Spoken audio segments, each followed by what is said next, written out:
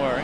Hi, this is Steven Escobar, and I'm here at the 22 GLAAD Awards with. Maurice Jamal. Okay, Maurice, uh, can you tell me why uh, you decided to come to attend to this event this evening? Oh, I had to come to the GLAAD Awards. I, uh, I'm president of GLO TV, which is the first urban LGBT television network. So for us, we had to come out and support the amazing work that GLAAD does in honoring diversity and honesty and integrity in stories that reflect our community. So I had this is the place to be.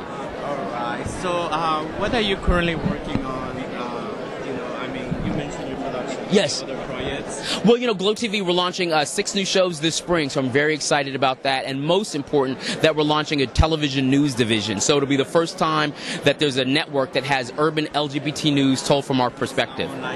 Yes, it is. At you can go to GLO TV Television, uh, GlowTelevisionNetwork.com. And you will have everything that you guys Exactly.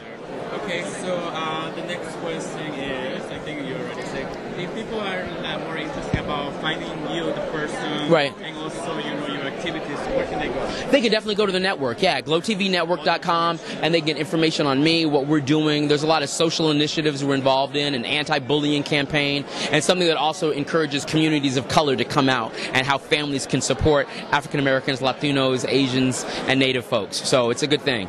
All right, that's it. Thank you for your time. Thank you very much. Bye.